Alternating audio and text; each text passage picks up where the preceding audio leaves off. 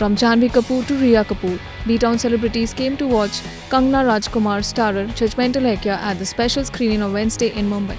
Kapoor sisters Janhvi and Rhea arrived in great style.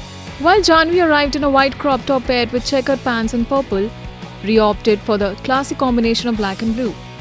Apart from them, present at the screening were Swara Bhaskar, Sonal Chauhan, Amyra Dastur, Radhika Madan, Abhimanyu Dassani, Amrita Puri, Manish Paul and others.